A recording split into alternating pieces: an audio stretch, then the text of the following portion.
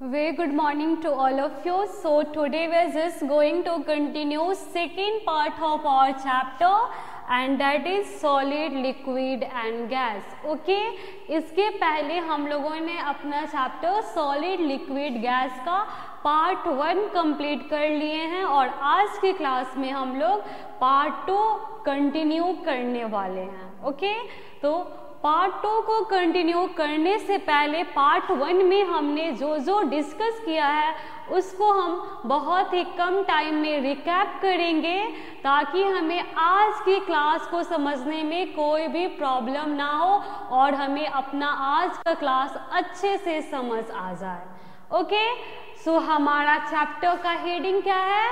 Solid liquid and gas okay तो हमने देखा था प्रीवियस क्लास में कि कोई भी चीज़ जो हमारे चारों तरफ़ हमें दिखता है, उस चीज़ को हम लोग क्या बोलते हैं? मैटर ठीक है? ये जो पैनल, ये marker, fan, door, window, mouse, keyboard, phone, everything, ठीक है? जो कि हमारे चारों तरफ़ हमें दिखता है, वो सारा चीज़ किससे बना हुआ होता है? वो सारा सॉफ्टेंस आपका मैटर से बना हुआ होता है। और मैटर क्या होता है? तो कोई भी चीज़ जिसके पास मास हो और वो स्पेस को ऑक्युपाई करे, उस चीज़ को हम लोग क्या बोलते हैं? मैटर बोलते हैं, ठीक है? और डिफरेंट सॉफ्टेंस और सारा मैटर हमारा एटम और मॉलिक्यूल्स वाले पार्टिकल से मिलके बने हुए होते हैं। डिफरेंट मैटम डिफरेंट टाइप्स के एटम और डिफरेंट टाइप्स के मॉलिक्यूल से मिलके बने हुए होते हैं, ठीक है?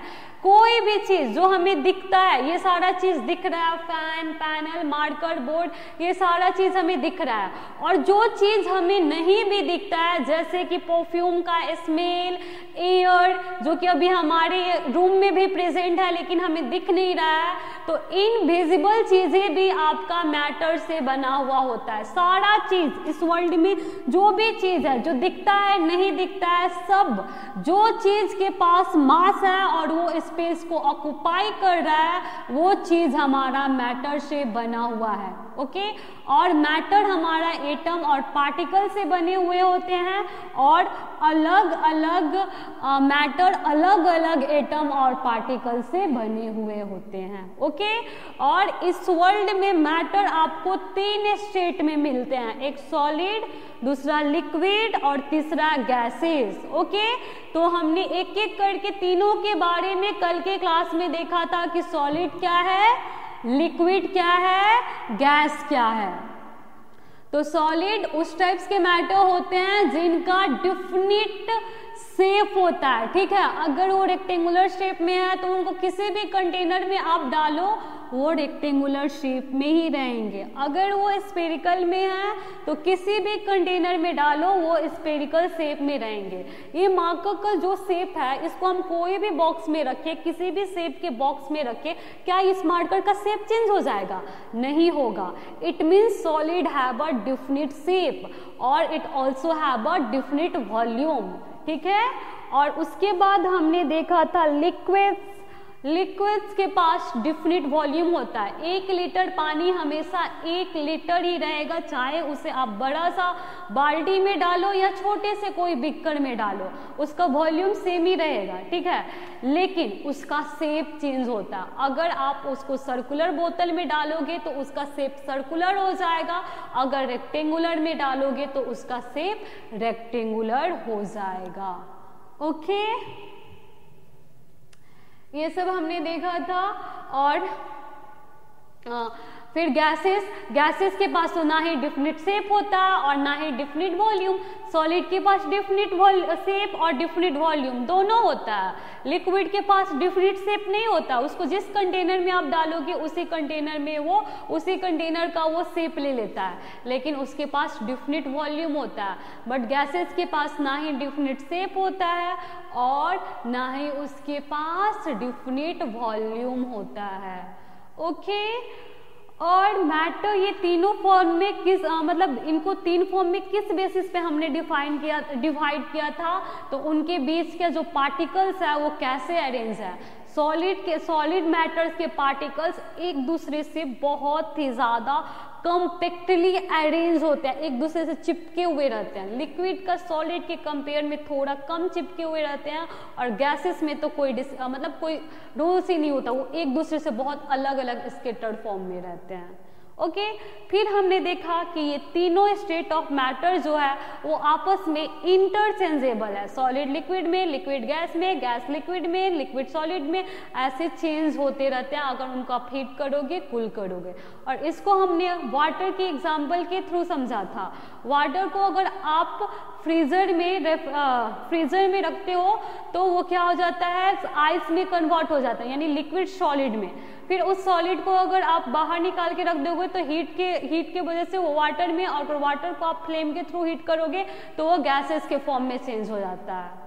तो ये सब हमने देखा था कि कैसे सॉलिड को लिक्विड लिक्विड को गैसेस गैसेस को लिक्विड लिक्विड को सॉलिड ये सब, ये जो तीनों स्टेट है, वो आपस में इंटरचेंजेबल है। ये हमने वाटर के एग्ज़ाम्पल के थ्रू देखा था ओके तो ये सब तो पिछले क्लास की स्टोरी थी और आज हमें क्या कंटिन्यू करना है? तो आज हमें, आज हम पढ़ने जा रहे हैं इस चैप्टर का नया टॉपिक और वो हमारा क्या है? Physical change and chemical change तो चलिए देखिए फ़िज़िकल और केमिकल चेंज क्या होता है।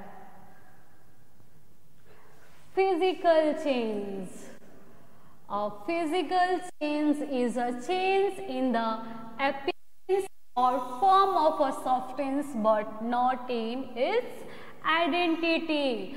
Physical change उस टाइप्स का चेंज होता है जिसमें सॉफ्टेंस का अपियरेंस वो कैसा दिखता है, वो चेंज हो जाता है, लेकिन उसका आइडेंटिटी चेंज नहीं होता है कहने का मतलब वो जो चीज़ है वही रहता है। अगर वाटर है तो वाटर ही रहेगा, ठीक है? सिर्फ़ उसका जो अपियरेंस है आउटर लुक है, उसमें चेंजेस आ जाएगा। उसका आइडेंटिटी वही रहता है। इस टाइप्स के चेंज को हम लोग क्या बोलते हैं? इस टाइप्स को चेंज को हम लोग फ़िज़िकल चेंज बोलते हैं। और physical change does not produce और new substances change in a state, melting, freezing, vaporization, condensation और physical.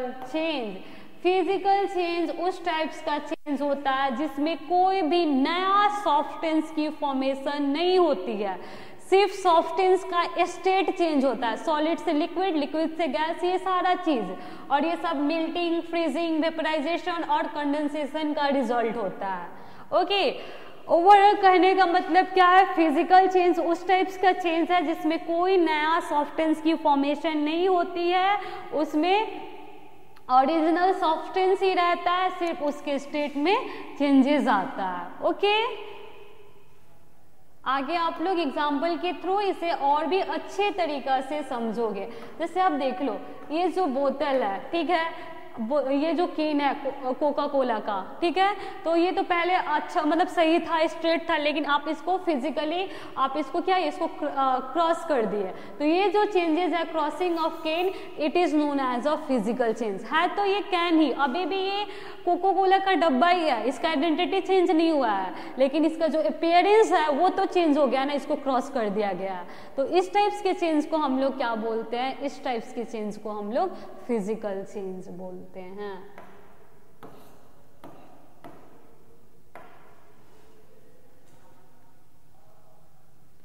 Example of physical change are crushing of can melting of an ice cube melting of a candle wax etcetera physical change are mostly reverse reversible change can का crossing ठीक है? फिर अगर आप water का example लो तो water से आप क्या बनाओगे? आइस बनाओगे फ्रीजर के हेल्प से। ठीक है? तो आइस भी तो आपका क्या है? उस, वो तो भी, वो भी तो वाटर है। भले वो वाटर के जैसा दिख नहीं है वाटर लिक्विड फॉर्म में जनरली रहता है, ठीक है? और आइस सॉलिड फॉर्म में होता है तो स्टेट का चेंजेस आ रहा है, लेकिन उसका आइडेंटिटी वो भी तो एस ही है। वाटर भी हमारा एस ही है और आइस भी हमारा एस ही है। मतलब आइडेंटिटी सेम है, लेकिन स्टेट का चेंजेस आ रहा है। इस टाइप्स के चेंजेस को हम लोग क्या बोल रहे हैं? इस टाइप्स के ही चेंजेस को हम लोग फ़िज़िकल चेंज बोल रहे हैं। फ़िज़िकल चेंज का एग्ज़ाम्पल आपके सिलेबस में क्या दिया गया है? Crushing of can melting of ice cube melting of candle wax ये सब हमारा फ़िज़िकल चेंज का एग्ज़ाम्पल है और फ़िज़िकल चेंज आपका रिवर्सिबल होता है। जैसे रिवर्सिबल का मतलब क्या होता है? आप वाटर से सॉलिड बनाए वाटर से आइस बनाए, ठीक है?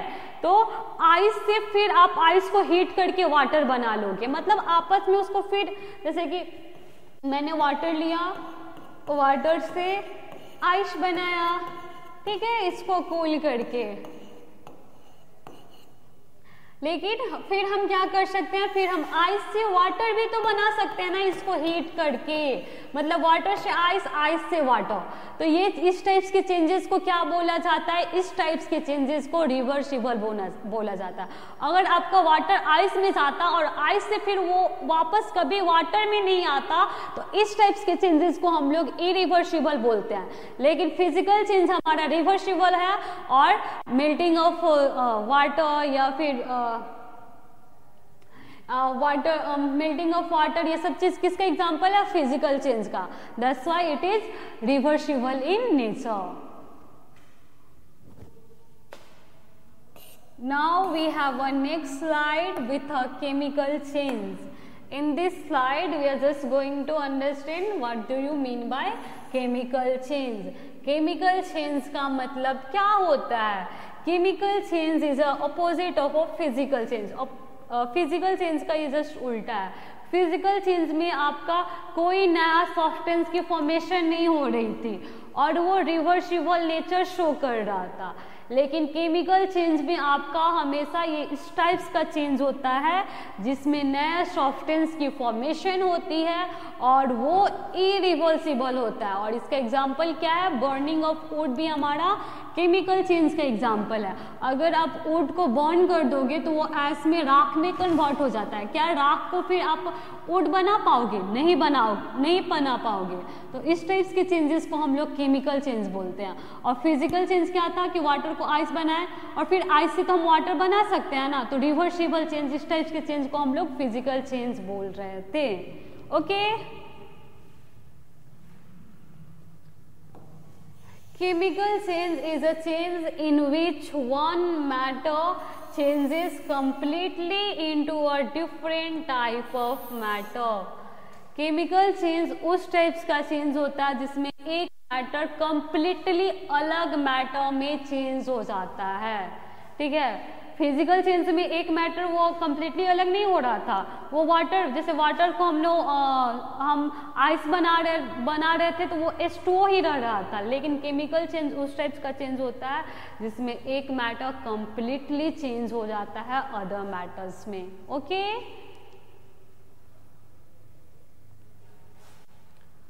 chemical changes produce new substance chemical changes में हमेशा आपका एक नए सॉफ्टेंस की प्रोडक्शन होती है। ओके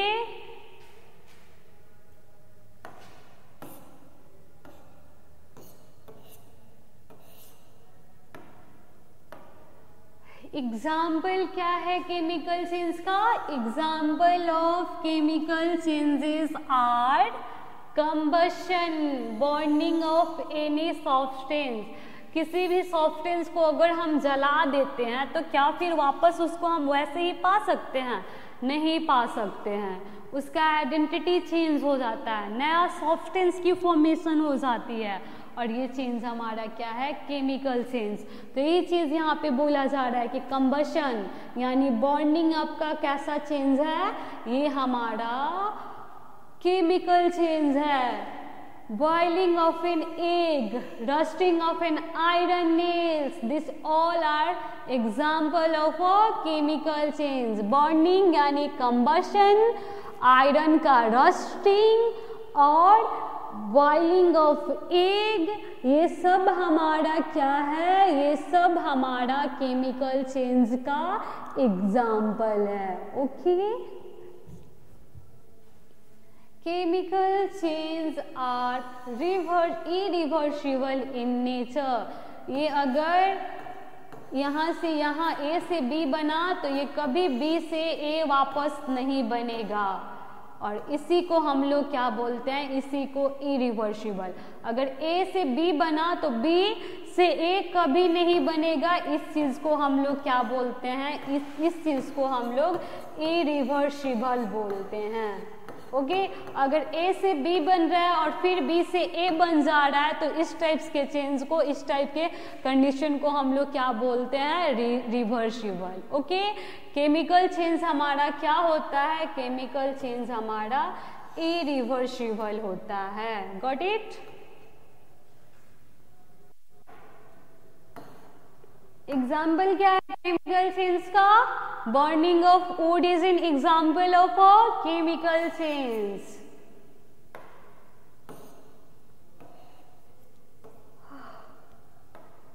okay so so, हम लोगों ने फ़िज़िकल और केमिकल चेंज पढ़ लिया। जैसे जैसे आप हायर क्लासेस में जाओगे और डिटेल्स में पढ़ोगे फ़िज़िकल और केमिकल चेंज के बारे में ओके अभी तक हमने क्या पढ़ा? फ़िज़िकल और केमिकल चेंज इनका इनके बीच का डिफरेंस क्या था?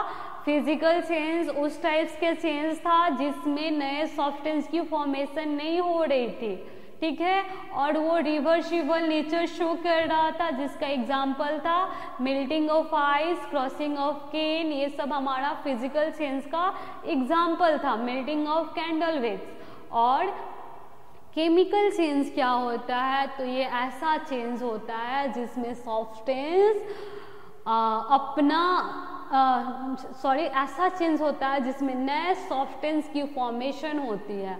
जो उसका प्रीवियस आइडेंटिटी होता है, वो लॉस्ट हो जाता है और वो इरिवर्सिबल होता है। ए से बी बनता है तो बी से ए कभी वापस नहीं बनता है। और इसका एग्ज़ाम्पल क्या है?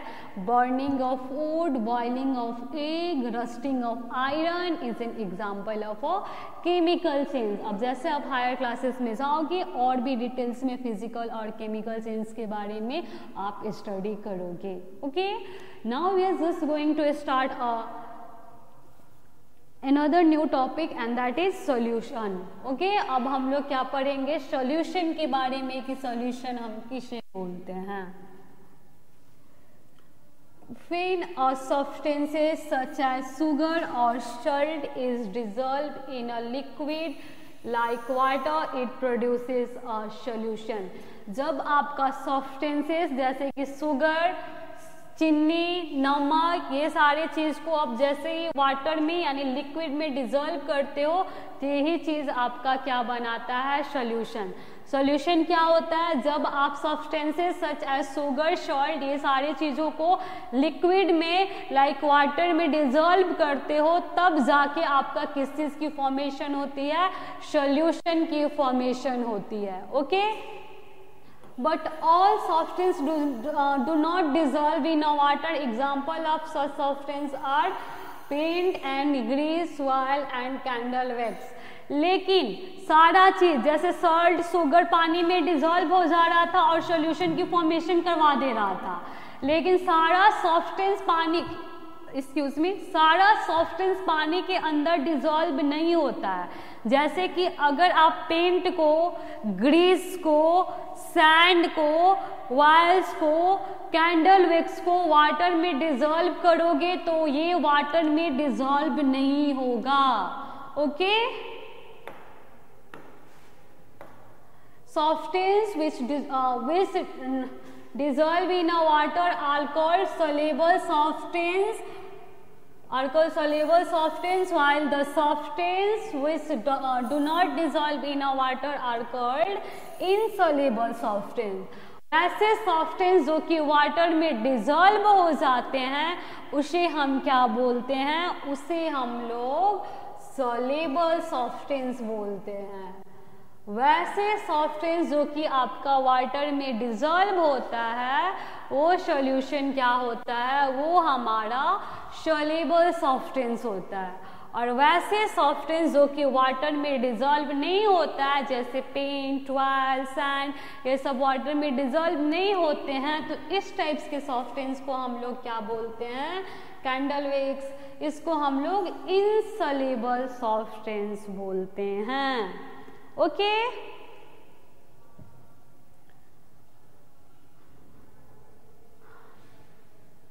Sugar and salt are soluble in water while wax and sand are insoluble in water. Sugar और सल्ट हमारा वाटर में सोलेबल होता है जबकि वैक्स और सैंड जो होता है वो हमारा वाटर में इनसोलेबल होता है ओके शुगर सल्ट ये हमारा वाटर में सोलेबल होता है जबकि वे वेक्स और सैंड ये सब हमारा वाटर में इनसोलेबल होते हैं ओके?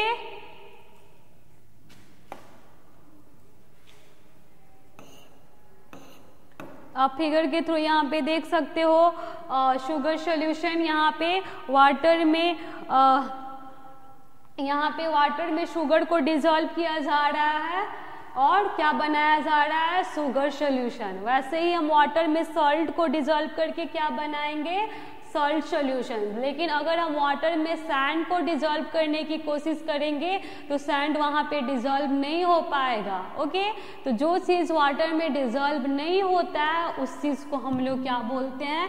इनसॉलेबल सॉफ्टेंस और जो चीज़ आपका वाटर में डिजोल्व हो जाता है उसे हम क्या बोलते हैं? उसे हम सोलेबल सॉफ्टेंस बोलते हैं। Okay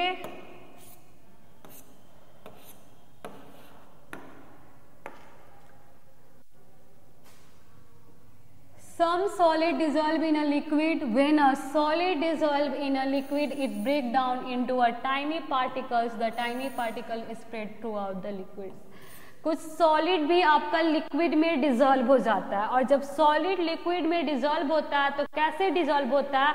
तो वो सॉलिड ब्रेक हो के छोटे छोटे पार्टिकल्स बनाता है और वो पार्टिकल्स हमारे लिक्विड में चारों तरफ़ स्प्रेड हो जाते हैं और उससे डिजोल्व हो जाते हैं। Okay the liquids in which solid can dissolve are called solvents. The substance dissolved in a solvent are called in sugar solution. Sugar is a solid uh, solute and water is a solvent. Okay? Liquid जिसमें solid dissolve हो जाता है उसे हम लोग क्या बोलते हैं? उसे हम लोग सॉल्वेंट बोलते हैं। ठीक है? सॉल्वेंट क्या होता है? ठीक जो चीज़ जिस चीज़ के अंदर अगर हमारा सॉफ्टेंस डिजॉल्व हो जाता है जिस लिक्विड के अंदर हमारा सॉफ्टेंस डिजॉल्व हो जाता है, उस लिक्विड को हम क्या बोलते हैं? उस लिक्विड को हम सॉल्वेंट बोलते हैं, ओके? और जिस चीज़ को हम लिक्विड में डिजोल्व करते हैं, उस चीज़ को हम लोग क्या बोलते हैं? उसको हम सॉलिड बोलते हैं। जैसे आप शुगर सोल्यूशन का एग्जांपल लो, ठीक है? तो वाटर में आप शुगर को डिजोल्व कर रहे हो। तो जिस लिक्विड में आप शुगर को डिजोल्व कर रहे हो, उसको आप सॉल्वेंट बोलोगे। तो आप वाटर को सॉल्वेंट बोलोगे। और वाटर में जिस चीज़ को आप डिजोल्व कर रहे हो, जैसे सुगर को डिजोल्व कर रहे हो तो सुगर को सॉल्यूट बोलोगे। अगर सॉल्ट को डिजोल्व कर रहे हो वाटर में तो सॉल्ट को सॉल्यूट बोलोगे बोलोगे। मतलब जिस लिक्विड में आपका सॉफ्टेंस डिजोल्व हो जाता है, उसे हम सॉल्वेंट बोलते हैं। और जिस चीज़ को हम लोग लिक्विड में डिजोल्व करवाते हैं, यानी सॉल्वेंट में डिजोल्व करवाते हैं, उस चीज़ को हम लोग सॉल्यूट बोलते हैं। और सॉल्यूट और सॉल्वेंट मिलके आपका क्या बनाता है? आपका सॉल्यूशन बनाता है। Okay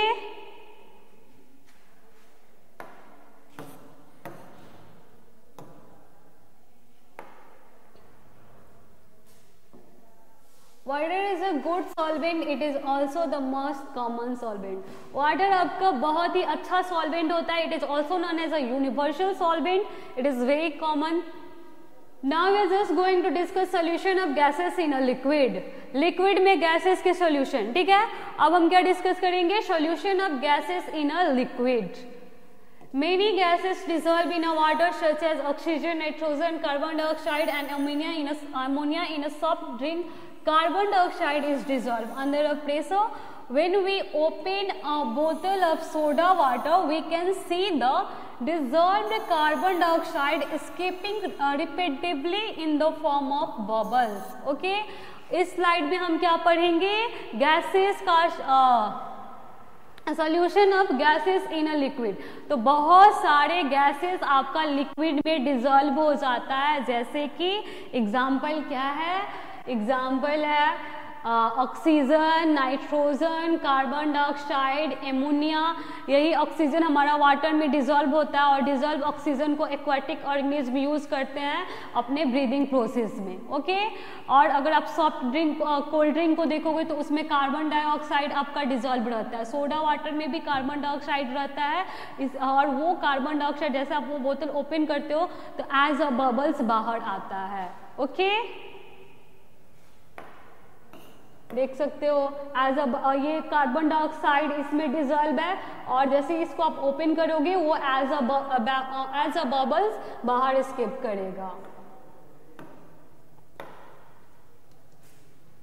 Water in a lakes rivers and other water bodies has a lot of oxygen dissolve in it plants and animals living in a water use this oxygen for breathing ठीक है? लैक्स और reverse वाले water में आपका बहुत ज़्यादा oxygen dissolve रहता है और उस एक्वेटिक और उसमें रहने वाले जितने भी एक्वेटिक ऑर्गेनिज्म होते हैं प्लांट एंड एनिमल वो सब अपने ब्रीदिंग के लिए वही ऑक्सीजन यूज़ करते हैं। ओके? सो so, आज की क्लास के लिए इतना ही। आज हम लोगों ने क्या पढ़ा? आज हम लोगों ने देखा सॉल्यूशन के बारे में। तो सॉल्यूशन आपका कैसे बनता है? सॉल्यूट और शर्बेंट मिल के हमारा सॉल्यूशन की फॉर्मेशन करवाते हैं। ओके? सॉलिड क्या होता है? जिस सॉफ्टेंस को आप लोग डिजोल्व करते हो, उस सॉफ्टेंस को हम क्या बोलते हैं? सॉल्यूट। और जिस लिक्विड के अंदर सॉल्यूट डिजोल्व होता है, उसको हम क्या बोलते हैं? Solvent. And both solute and solvent together make solution. Okay? फिर हमने फ़िज़िकल और केमिकल चेंज देखा था। फ़िज़िकल चेंज में आपका नया सॉफ्टेंस की फॉर्मेशन नया सॉफ्टेंस की फॉर्मेशन नहीं हो रही थी और केमिकल चेंज में नया सॉफ्टेंस की फॉर्मेशन हो रही थी। फ़िज़िकल चेंज आपका रिवर्सिबल चेंज था, जबकि केमिकल चेंज हमारा इरिवर्सिबल चेंज था। फ़िज़िकल चेंज का एग्जांपल था crushing of can melting of ice melting of ice ये सब हमारा फ़िज़िकल चेंज का एग्जांपल था और केमिकल चेंज का एग्जांपल था। Burning of coal rusting of iron ये हमारा केमिकल चेंज का एग्ज़ाम्पल था। सो so, आज के लिए इतना ही। Thank you have a nice day